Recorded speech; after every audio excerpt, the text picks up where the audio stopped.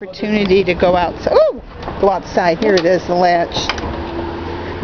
And here's an area for people to um, stand out. Um, it's it's uh, large.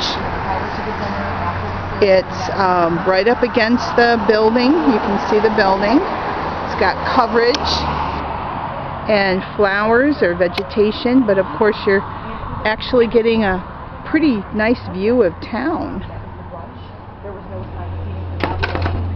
They have uh, tiki torches over here. So what? One, two, three, four, five. Actually, three big and, and two small. But you can still have people that smoke come over here or whatever their thing is.